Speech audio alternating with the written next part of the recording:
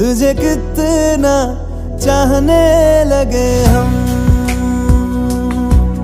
तेरे साथ हो जाए। तो दोस्तों, आप भी इस तरीके का ट्रेंडिंग व्हाट्सएप स्टेटस अपना खुद का फुल स्क्रीन में बनाना चाहते हैं तो इस वीडियो को पूरा देख लीजिएगा, क्योंकि दोस्तों, इस वीडियो में आपको पूरा डिटेल में बताऊँगा, आप भी इस तरीके का ट्रेंडिंग व्हाट्सएप स्टेटस अपने मोबाइल से कैसे बनाएँगे। तो दोस्तों, इस टाइप का स्टेटस बनाने के लिए आपको ज़रूरत होगी एवी प्लेयर की, और दोस्तों, उसके बाद दोस्तों, आपको ज़रूरत होगी मेरे इस टेम्पलेट की। तो इस टेम्पलेट का लिंक आपको मेरे डिस्क्रिप्शन बॉक्स में मिलेगा, वहाँ से जाकर आप इसको डाउनलोड कर लीजिए। डाउनलोड कर लोगे दोस्तों तो वो टेम्पलेट आपके मोबाइल में ओपन हो जाएगा। और दोस्तों ओपन होने का दोस्तों, जहाँ पे जैसे मेरी स्क्रीन पर दिख रहा है, वैसे ही आपकी मोबाइल की स्क्रीन में दिखेगा। उसके बाद दोस्तों, इसके जो जो बेसिक सेटिंग है, किस तरीके से यहाँ पे फ़ोटो लगाने सारी बातें मैं आपको वीडियो में आगे बताता हूँ। तो उसके लिए दोस्तों, सबसे पहले तो यहाँ पे आपको इसके पेंसिल वाले ऑप्शन पर आ जाना है।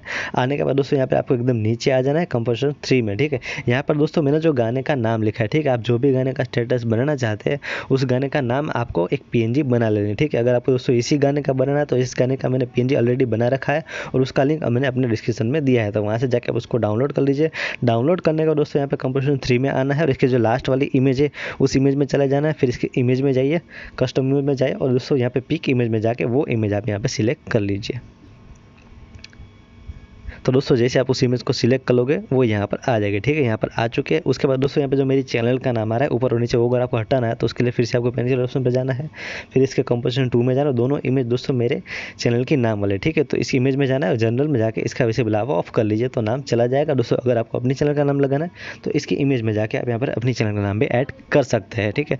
उसके बाद दोस्तों, यहाँ पर हमें फ़ोटो लगाना है तो फ़ोटो लगाने के लिए यहाँ पर सबसे पहले आपको आ जाना है, ऊपर ऊपर आने के बाद दोस्तों ऑडियो प्रोवाइडर के नीचे जो पहली इमेज है, उसमें चले जाना है। फिर इसके जनरल में जाना है और इसका विजिबल आपको ऑन कर लेना है। ऑन करोगे तो फ़ोटो यहाँ पर आ जाएगा। दोस्तों, यहाँ पे फ़ोटो जो उल्टा है, ठीक है? तो उसको सीधा करने के लिए क्या करना है? आपको थोड़ा सा ऊपर स्क्रोल कर लेना है और इसके रोटेशन में जाना है और यहाँ पर रोटेशन जो है, आपको एकदम ज़ीरो कर देना है, ठीक है? यहाँ पे एक सौ अस्सी है तो इसको हम ज़ीरो कर लेते हैं। ज़ीरो कर लोगे तो फ़ोटो यहाँ पर सीधा हो जाएगा। उसके बाद दोस्तों, हमें यहाँ पर पार्टिकल्स ऐड करना है। तो पार्टिकल ऐड करने के लिए यहाँ पे जो मोशन ब्लर इफ़ेक्ट लिखा है, उसके नीचे जो ब्लर इफ़ेक्ट है, ठीक है? उस ब्लर इफ़ेक्ट में चले जाइए। फिर इसके जनरल में चले जाइए और इसका विजिबल आप ऑन कर लीजिए। तो सारे पार्टिकल्स यहाँ पर ऐड हो जाएँगे, ठीक है? तो यहाँ पर हमारा टेम्पलेट पूरा कंप्लीट हो जाए। और दोस्तों, साथ ही दोस्तों, मैं एक बात और बता दूँ, अगर आप कोई टेम्पलेट बनाते हो टेम्पलेट को अगर आपको गैलरी में सेव करना है तो सेव करने के लिए दोस्तों, यहाँ जो बॉक्स वाला ऑप्शन है, वहाँ पर जाना है। और आपने जो भी टेम्पलेट बनाया है, उसको सेव अपने गैलरी में सेव करने के लिए यहाँ जो सेव टू फ़ाइल लिखा है, ठीक है?